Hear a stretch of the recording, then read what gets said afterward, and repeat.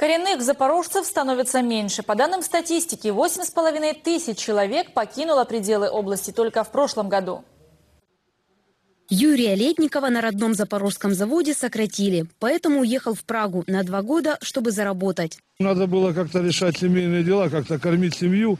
Пришлось уезжать э, за границу.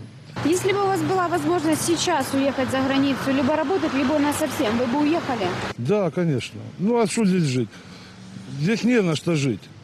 Такое мнение разделяют многие. Несмотря на это, трудовая миграция в Запорожской области по сравнению с другими регионами находится на достаточно низком уровне. Больше всего трудоспособное население покидает западные области Украины – Закарпатскую, Черновицкую, Ивано-Франковскую и другие. Тем не менее, в прошлом году численность населения Запорожской области сократилась больше, чем на 10 тысяч человек. Основную часть этой цифры составляет естественная убыль. Но немаловажным фактором является миграция запорожцев. За последние десятилетия множество жителей области выехали в другие города и страны. Мы все годы наблюдали э, мигра- миграционное скорочение, как мы говорим. То есть от наш, с нашей области уезжало очень много граждан. Из восьми с половиной тысяч выехавших за пределы области в прошлом году всего 7% покинули Украину. Основная масса просто эмигрировала в другие регионы. В основном наши граждане уезжают в Киев, э, в Киевскую область, э, в Республику Крым.